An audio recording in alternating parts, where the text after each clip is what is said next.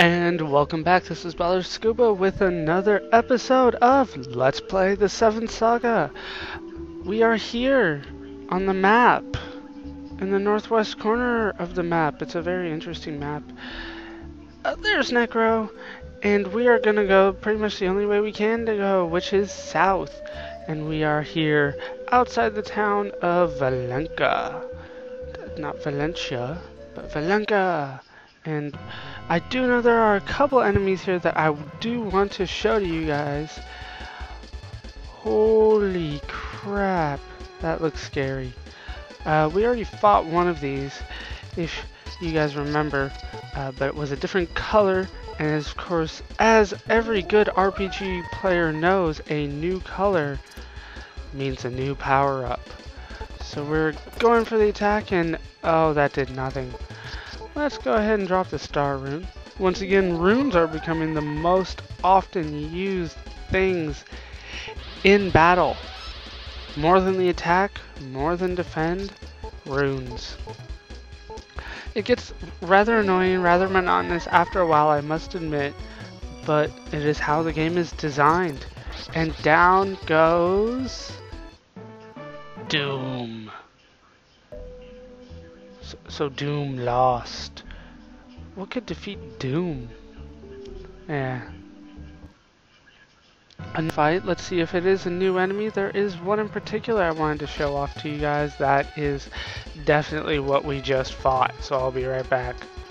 Oh, and by the way, that uh, Doom does give up and let me just check the map here. It does give up a a jewel $10 to anybody that can guess what kind of jewel the Doom gives up. Oh, if you guessed Opal, you are right, as always. How many of you got 10 bucks? Alright, another battle. I am actually going the right way, and it's another one. Good lord. Alright, and as a result of that battle, Valsu does reach level 30. I'm going to restart and cutting these out because they're just throwing doom after doom after doom at me. And these mountains do not like me. Because they are being tricky. Tr tr tr tricky. Okay, I cannot remember if I've shown you guys these enemies before. I do think I have, but there are definitely three of them. Not the Sky Rune, Moon Rune on Necro. That is pretty much my basic strategy going into every fight now. And he goes for the vacuum, which pierces my eardrums. And that guy goes for another magic attack neither one of them hit. So uh, you go ahead and attack that guy who didn't attack yet. And down he goes. You go ahead and defend. Uh, you attack this guy. Oh, don't miss. You suck, Necro. Go for him again. Thank you. Eh, I can't go for him again. Attack. Alright. Black Knights. I, I, I want to say that I showed that to you guys, but I, I'm never sure anymore.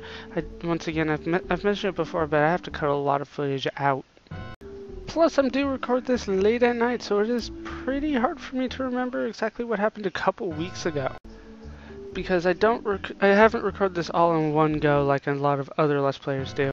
I do try to keep it relatively small batches of what I do record in. Wait, there, there's, there's two places here. And here is definitely the enemy I wanted to show you. This is a sword. And it drops swords. But the particular sword I am looking for is called a sword. It's pretty much immune to everything. So no matter what you do, it only takes out one.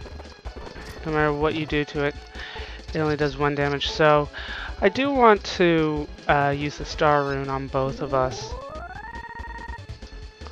because it does quite a large attack here.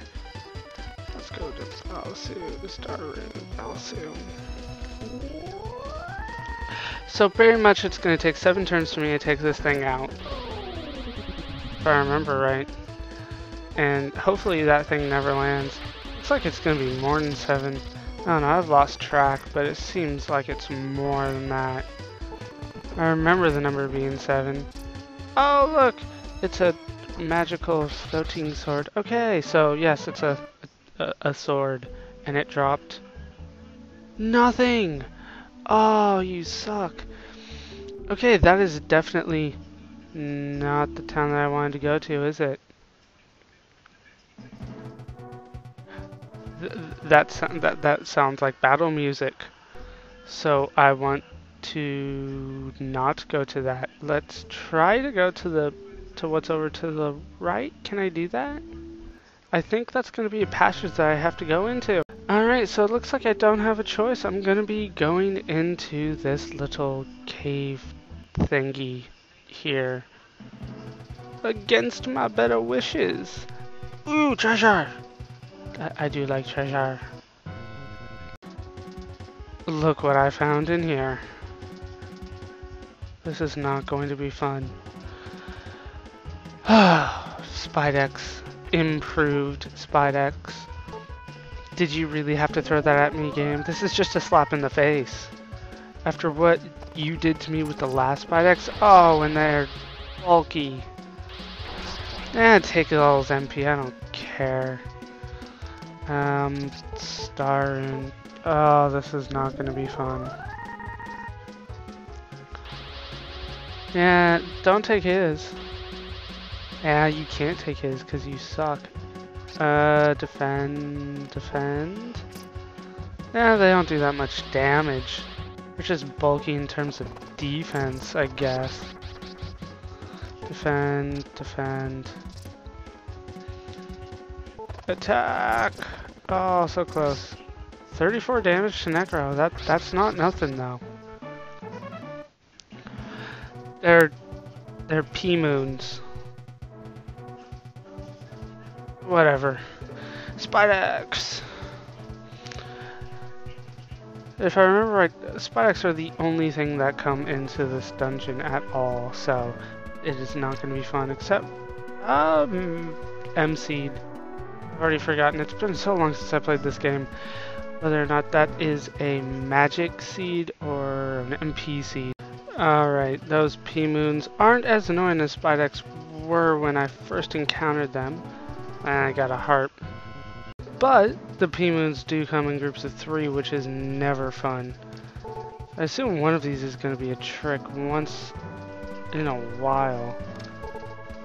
But none of them are, and it's working out pretty nicely. That's it, runaway spiders. Love that.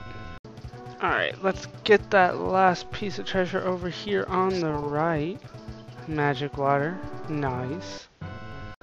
Alright, so let's go to the left because I saw some treasure over there. Even though this might be the dead end. And I'm starting to run out of antidotes because of all these spiders, and it does look like I went for the dead end here. Because I'm not sure if there is anything over here past the treasure. Hopefully this is something good.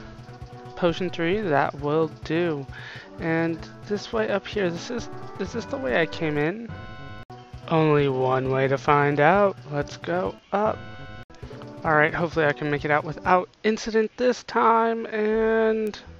Yes, it is the way I came in. Awesome! So once again, I get lost in a dungeon. You'll probably get used to that from me.